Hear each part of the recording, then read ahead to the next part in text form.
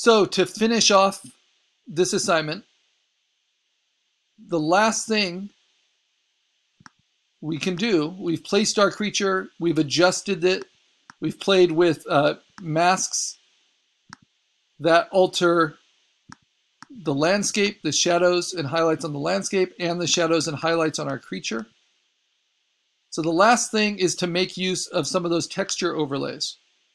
And so I can take my creature and its mask and move those together down underneath the atmosphere. And you can see what that does. And I can take my, my overlay mask and move that up above the atmosphere and see the big difference. And I can play with the atmosphere a little bit with its opacity. So this is the purple one.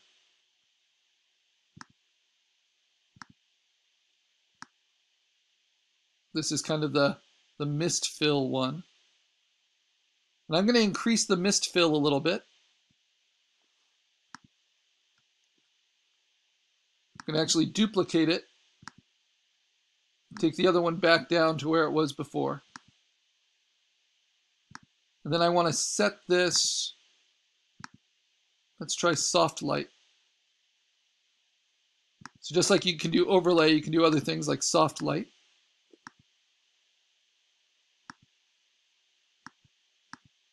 Hmm. Or maybe normal, but just a little less. So I like that glow. Okay, now I'm going to erase away from it where my creature is because I know my creature looks pretty good even without the atmosphere. But now I just want to use the atmosphere as another tool. So I'm going to make a really large soft edged brush. I'm going to take it at a lower opacity. This is an eraser. Now I'm just going to pass over my creature.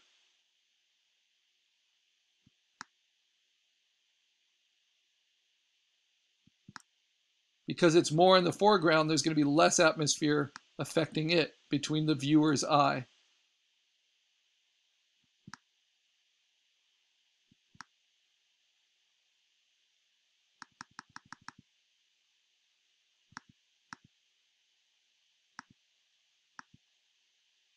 I can do the same thing with the purple.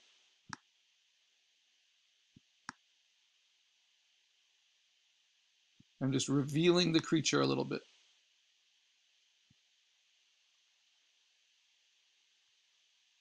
All right, let's see if that made any difference. It changed it, but I don't know if it absolutely helped. Wait, how do you from there? That, so that's where I was. Actually, nope. That's where I was and then I moved it behind some of the texture fills, right? So if I turn them off, you know, these are all just different layers. You can see how they impact the image. So my very top layer is my crystal. Behind that is my mask on my creature that gives its specific lights and darks. Underneath that is this purple texture overlay which is just misty purple that gives everything a slight purplish tint. Underneath that is a, a grayscale texture overlay, very subtle at only 10%. Below that is another copy of that, just erased in a different way at 10%. And then you have my creature.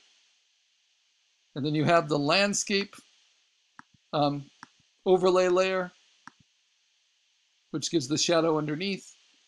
Then you have the rocks, and then all the different landscape elements. Could you go over the fog one again?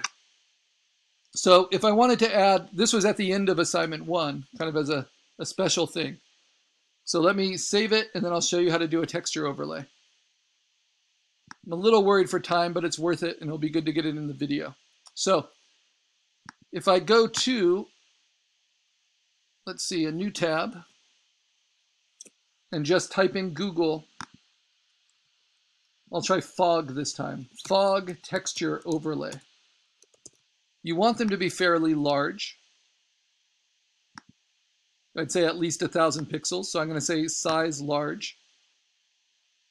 But these you, we just use, so this is a nice one. And there's ones for rain. There's ones for like little particles in the air, right? So I save that somewhere, save it into my digital art file.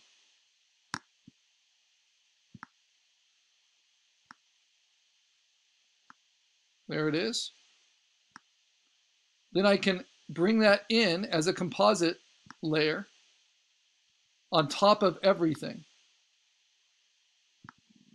Just like it was a new landscape element.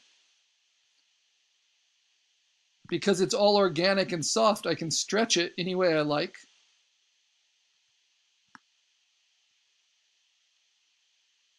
to fill the space. And then I'm going to rasterize it so I can delete away from it. And then I'm going to set it at different blending modes. So if I use overlay, that's a familiar one, right? That will have an effect, but that's actually not my favorite one. I think I'm going to use soft light or pin light. And you see it, it gives some atmosphere. But what we're doing here is we're then cutting our creature into that atmosphere.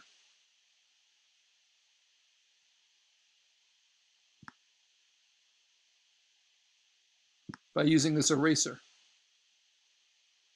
and altering it. So you can decide how much of the texture overlay you want. You definitely don't want your background to go to black. That's why I'm erasing a little bit from the top edge here. But you can play with these mists and these different kind of glazes overall. They can be really so helpful. You, you placed it and then you cut out a shape of your creature, or you just set it to overlay mode? So I placed it, and then I I didn't cut out my creature. I'm just erasing from it. I'm kind of treating it like it's air, and I'm using my soft edged eraser at a low opacity to kind of wrap it around my creature. So this is what it looks like at normal mode. This is what it would look like with overlay. But what I actually like is for usually pin light or soft light for my texture overlays. And sometimes I like them on normal, but just at low opacities. Mine has like a black background, so it's giving me issues. Yeah, it's all things you can play with, and then you can play with the levels of them. But it's a way of compositing with kind of transparent elements over the whole thing to give you atmosphere. And I think that helps, actually. Okay. So I think I'm done. I've got my creature in its landscape. I've made it as believable as I can. There's one tiny thing that bugs me. I'm going to fix it. This is me being really picky. And then I'm going to post it right at noon. And that's that bright white pixel right there. And instead of trying to chase it down, I'm just going to add it to my crystal layer. And I'm going to clone stamp from the current layer.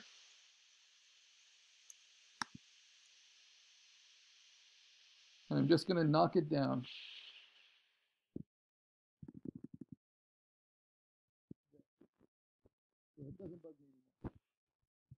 All right. So now I hit Command S because I'm on a a Mac that's saving my latest PC, my latest PSD file, then I'm going to say export as a JPEG. I'm going to keep its quality somewhere between 70 and 100%. It's going to be fine.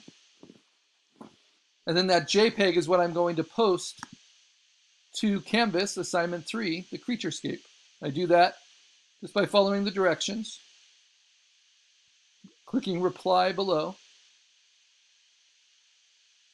And we just have to do it to Canvas first by the deadline, and any improvements we make on our portfolio portfolio, we'll post them to Imgur. But as we're still working on them, let's just post them to Canvas, since we're having so much trouble organizing them in Imgur. So I can find it in downloads. It's the latest JPEG right there. I use the little blog interface to upload an image. You guys are getting good at this. I appreciate it. We put it in, and then we just shrink it down to fit. And then you can write your name and anything else you want to say about it.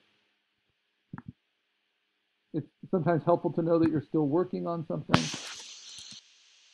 And then I post it. And then we can critique it.